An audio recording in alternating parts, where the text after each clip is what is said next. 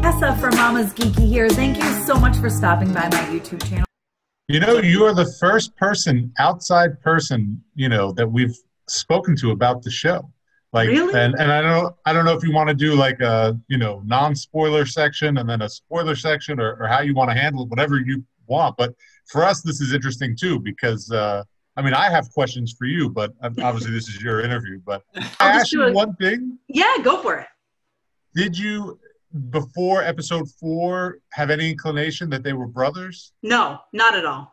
I was Oh, completely shocked. I, and it was a- as soon as that episode was going on, I was like, oh, oh, oh, wait, I think I know. I think, you know, but it wasn't until that episode. And then I was like, oh my gosh, I can't believe it. Uh, so, no, I didn't see it coming at all. I thought that was a great That's great. twist. yeah, my question is, did you know that the old man was going to be Zeus? I, not at first. I think I figured it out. I figured it out a little bit earlier than like before they said it when they started saying stuff. And, and then plus I know Zeus did that sort of thing, you know, in mythology. But I, it took a, it took a hot minute, and uh, I even said it before, and my husband goes, "No, I don't think so." I go, "I don't know, I don't know. He's hanging around a lot. He- he's there for like the helpful stuff." And he's like, "I don't know." And then I was like, "Ha! Yes, I was right. You were wrong."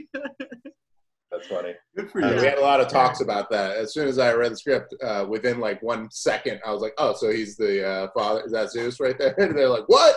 And I was like, "Yeah." So we we tried to hide it a little bit more as we went through production, uh, just because I've seen so many of these movies that I was like, "Oh, no, we gotta." Well, yeah, and I just know Greek without like Zeus does like you know he goes Yeah. and does all sorts of he could be an animal or a human or whatever, but I know he hides a lot on Earth, so I I kind of figured it out. But um, it's still great, and it's, I think they reveal it early enough on that you're not feeling like everybody figured it out. You know what I mean? If yeah, it was we also we didn't anticipate that the trailer would have yeah, the yeah, the reveal. son of Zeus, and then you know, big shot of Zeus. So like, yeah, I mean, what are you gonna do? I know. Well, I said that in my reaction to the trailer too. I'm like, I'm afraid I'm going to say too much. I've already seen half the episodes, and then and then I was like, like, there it oh, is. they They said it too, so I guess I can say that. Yeah. The voice acting is amazing, and so what's the process like with with uh, casting something like this? we were very lucky, you know, to to get the cast that we did. We got an amazing cast, and, and Meredith really was uh, the, the casting director. She did an incredible job, and she's so tapped into that world. And, and a lot of the people that she brought in are people that she knows and has a, a rapport with, because even smaller parts are amazing. Like, you know, and she just did an incredible job. And, and even she's the one. I don't know, Shaunt. You know, if you want to describe the process, because like when we record we've never been involved in anything like that. Coming from live action, this was a whole new process. Like we, you know, you do ADR, but it's always about on set. But it's just amazing how different this is when it comes to animation and the way that they would be directed and how Meredith would direct them and, and how you go through, you know, selecting takes. But I will say, like, some of the members of our cast are the most talented people we've ever worked with.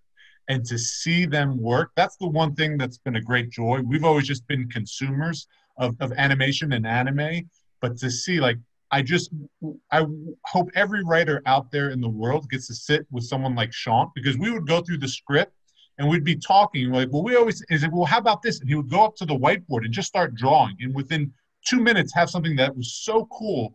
You're just like, oh my god, you see it coming to life. And the same thing happened with these actors, and the way that they would direct them, like you would never direct um, an actor in live action that way where she would like Meredith would use words that wouldn't even like she would just be like I can't even think right now, but she would say like, you know, cooler. And you would just say like that. And then the, the actors right away. It was amazing to watch. It was like a clinic, how they could just uh, change their delivery like off of a- a one note. She's a savant. yeah, she's like kind of a super pro, and occasionally, you know, there's uh, there, all of us are in the back room, and like Vlas would be like, "Hey, can can she say that, you know, like a little higher?" And she would just kind of go, "When you say higher, are you saying higher pitch, higher volume, higher uh, energy, higher whatever?" And Vlas like, I, I, I don't know. Higher. there, there's a there's a lot of animation uh, terminology stuff, and uh, so Meredith Layne is our. She also casts Castlevania, and she worked. I worked with her at Nickelodeon. She sat right across from me, uh, like 15 years ago, and she's just like an, a super pro, one of the best. So she does the casting, and she also does the voice directing, and um, and so the process was she just kind of went through her line of uh, actors that she knows, and she she basically gave us we we give a piece of script we call sides, we hand them out, they do a bunch of auditions, and we listen to all of them together in a room, and uh, she basically told us right away, she's like, you're gonna want Derek and you're gonna want Elias for the the two brothers, and we were like, we'll see, we'll see, and we listened to like you know 30 of each, and we're like, yeah, I guess it's these two. Yeah. awesome. Can I ask you, what was your? Can I ask you, what was your favorite scene, and and who was your favorite character?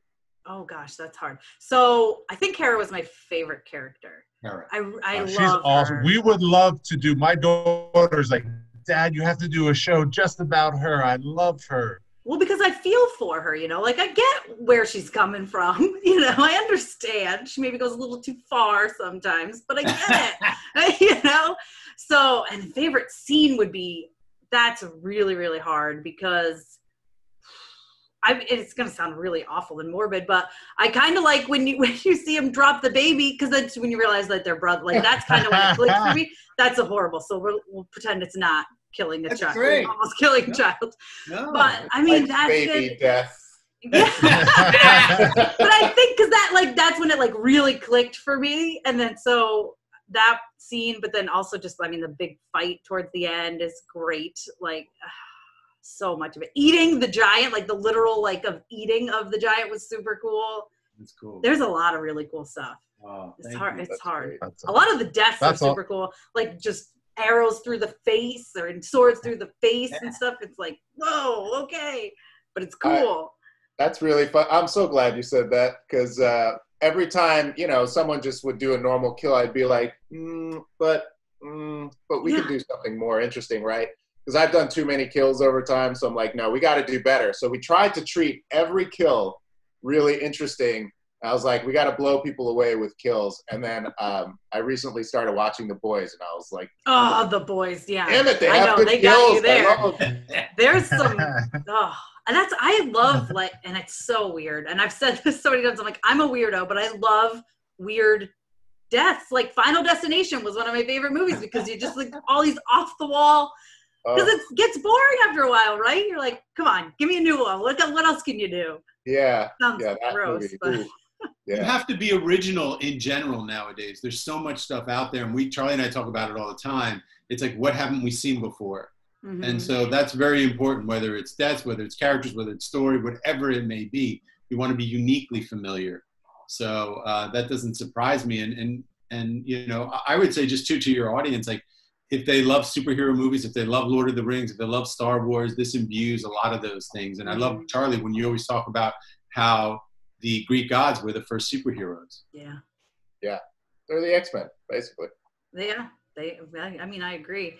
You know, and I had a lot of subs- subscribers sending messages and saying stuff like that they were excited for a Greek mythology like anime. They're like, finally, more Greek mythology and more stuff, and they couldn't wait to see which gods were in it and which ones weren't. And so, you know, there's a lot of people interested. So, You know, Fingers so crossed were we, and we, we were also interested in that um, because it's it's rare to see it, and when you see it, a lot of times it's stylized, and you know, like growing up with Jason and the Argonauts and with Clash of Titans and you know, Sinbad and all these movies, they were they were sort of trying to be like authentic with it, and occasionally. You get something like 300, which is a super badass movie, but it's so stylized that you're like, well, it's a stylized version of that movie mhm. Um, and Immortals was beautiful. The the movie that the Bros wrote. It's a gorgeous like piece of directorial artwork. Uh, it's like very golden. It's this and that. We just wanted to do Greek mythology. Just we just wanted to be the sort of the the one place you can go to get like the the beautiful version that you picture in your mind that you've grown up with, but a little bit anime on top of that. and cool deaths. So And cool deaths. this can't go wrong with that. listen, Netflix was great. Working with them was great. Working with Shaunt was again a blessing. We were involved creatively the whole way through with, with Immortals. It's a director-driven medium film, and you know we had gotten rewritten twice, and, and still very proud of that film. But there's more of us in this show, and and and thank God, you know, Shaunt again just did a a wonderful job, brilliantly directed it, really brought about the moments, crafted them, mm-hmm. tied them together, brought that cinematic, you know, component to it. And, you know, Charley and I just couldn't be more proud of the show. And for better for worse, it, it, it's a story that all of us here wanted to tell. And, and we hope, as Spielberg says, you know, an audience tells you what you have. And we hope that that audience agrees with us and, and likes it as, as much as we do and enjoyed enjoys it as, as much as we enjoyed making it. I really truly think they will. I do. I'm ready for season two. Let's do it. Thank you. Thank you.